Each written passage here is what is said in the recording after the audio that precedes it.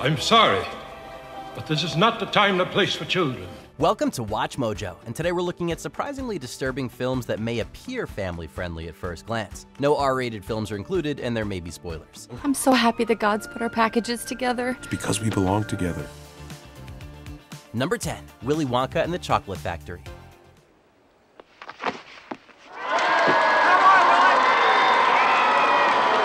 Roald Dahl's imaginative, darkly humorous books have been hailed as classic children's literature for decades. However, reading is not the same as seeing, and scenes that come across as merely odd in a book can have a much scarier impact when they're brought to life. One example is when normal looking women transform into monsters in The Witches.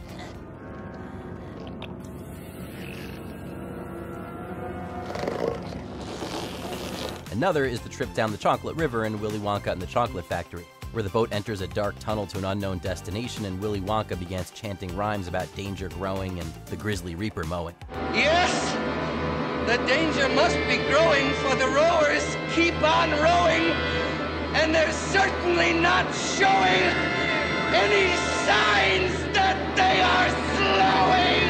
Though this scene was taken directly from the book, it's still rather jarring in a G rated film. Number 9 The Dark Crystal. Since it was directed by Jim Henson of The Muppets and marketed as a family friendly film, there was no reason for parents to feel nervous about taking their kids to see The Dark Crystal when it came out. However, this is a little different from Henson's other work. What do you want of me? A shard. A crystal shard. That's all you want? A crystal shard? It has amazing puppets and colorful settings, but the plot is more like Lord of the Rings. Innocent creatures called Gelflings must undertake a dangerous quest to save the world and naturally fight evil villains.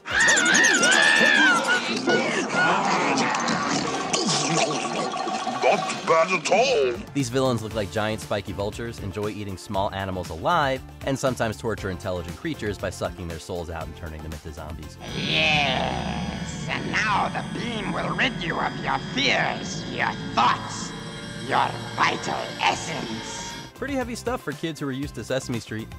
Number 8 The Fox and the Hound. There are serious aspects to a lot of Disney animated movies, and in this one, the main conflict is right there in the title.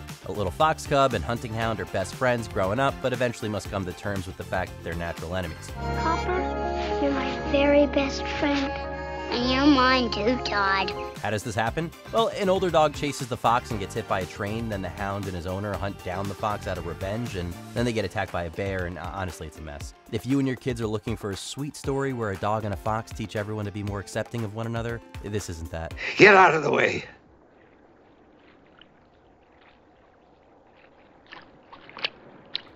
Number 7 Bridge to Terabithia. Some of you probably remember reading this book as a kid. If not, we're about to spoil it for you. Sorry. Honestly, though, we may be doing you a favor. The first two thirds of the story are happy and imaginative. A young boy and girl become friends and make up a fantasy world together where they act out heroic scenes. It's a giant troll. No, it's a giant tree that almost killed us. You think that tree just fell all by itself? Then, practically out of nowhere, a main character dies horribly. The film becomes a tragedy, and your heart is crushed as you watch a child struggle with previously unknown depths of grief. Uh, I wasn't there to go with her. It's my fault. No, no, no, no. It's not your fault. None of that makes it so. Yes, alright, there is a somewhat uplifting ending if you can get there without losing all hope and turning off the movie. It's an ancient forest, May Belle. Full of magical creatures and friendly giants, anything you can imagine. But you gotta look really hard. But keep your mind wide open. Number 6 Gremlins. I just call him Gizmo. He seems to like it. Ah, look at that cute little fellow. Sure, the others aren't as cute and they get up to mischief, but they're just little puppets, so it can't be too scary, right? Well, bear this in mind the movie's rated PG, but it's listed under horror, and it has an honest to goodness kill count. Get out of my! The human deaths occur mainly off screen, the gremlins aren't so lucky. When the mischievous creatures begin wreaking havoc in a small town, kids and adults must band together to destroy the little rascals, and they do, in a variety of surprisingly violent ways. So, even though the gremlins are evil, young viewers may find it disturbing to watch them get killed not just once, but numerous times. I warned you. With Mogwai comes much responsibility. But you didn't listen, and you see what happens. Number 5 Coraline. Coraline is reminiscent of those old fairy tales intended to frighten children into obedience. Hey kids, wouldn't it be fun to live in a magical world where your parents didn't make you follow the rules? Well, that's how you get your soul sucked out and your eyes replaced with buttons. Don't remember our names, but I remember my true mommy. When Coraline meets some trapped ghost children and sees the otherworld version of her mother transform into a hideous monster, she decides this isn't the place for her. You're back. And you brought vermin with you? She manages to escape, and you think the terror is over, but no. The movie is to give you one final heart palpitation when a skeleton hand tries to drag her back to her doom. This is one nightmare inducing, PG rated stop motion animated film.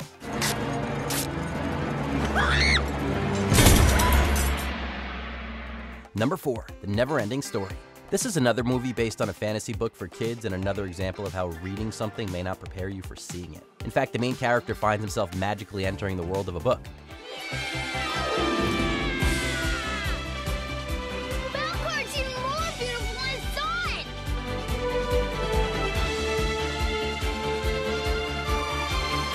But before he gets there, we all have to watch the book's protagonist endure various hardships like walking a deadly sphinx gauntlet and fighting a wolf monster with a stone knife. If you come any closer, I will rip you to shreds.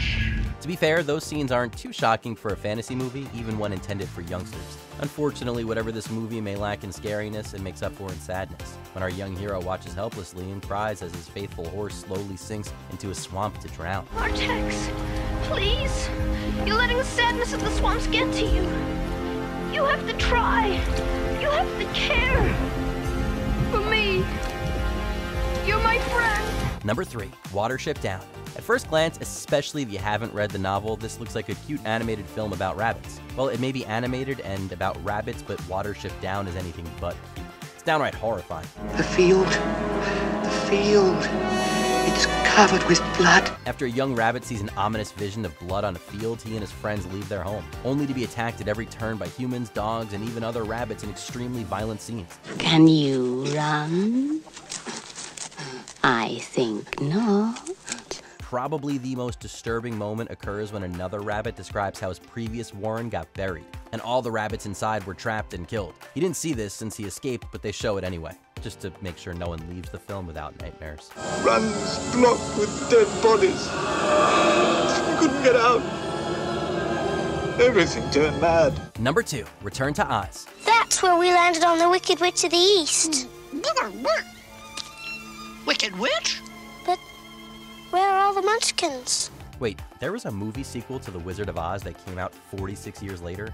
Yes, and there's a good reason you've probably never heard of it. L. Frank Baum wrote many Oz books, several of which feature Dorothy. However, none of them involve Dorothy being sent to an asylum to undergo electroshock therapy. Pretty soon they'll draw all those unpleasant dreams out of your head. We can't imagine why. I mean, anyway, Dorothy escapes and goes to Oz where she meets some familiar characters from the first movie, like the Scarecrow and the Cowardly Lion, and some new characters from later Oz books, like the Evil Nome King and Princess Mombi. This princess wants Dorothy's head since she has a collection of heads that she occasionally swaps out with her own. Wait, what? I think you're very beautiful. I should hope so. Before we unveil our top pick, here are a few honorable mentions. The Adventures of Ichabod and Mr. Toad. Spoiler alert, only one survives.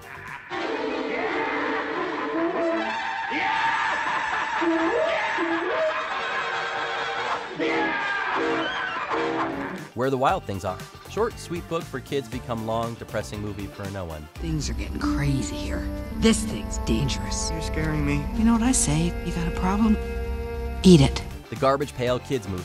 If you enjoy watching literal garbage, you might like this film, but probably not. We can do anything by working with each other. Come on, kids, take a shot. Show them what we really got. Before we continue, be sure to subscribe to our channel and ring the bell to get notified about our latest videos. You have the option to be notified for occasional videos or all of them. If you're on your phone, make sure you go into your settings and switch on notifications. Number 1. Grave of the Fireflies. Should I get a doctor, Seita? Why did he hurt you?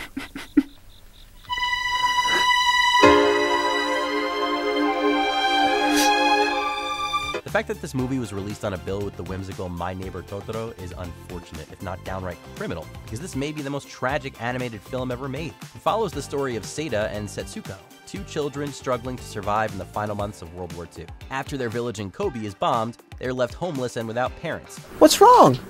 I'm hungry and I'm thirsty too. Seita becomes increasingly desperate to save his little sister as she grows hungry and sick. And we're sorry to tell you this, but nothing ends well for anybody. Grave of the Fireflies is widely considered a masterpiece war drama, and as such, it may be too much for adults to handle, let alone children.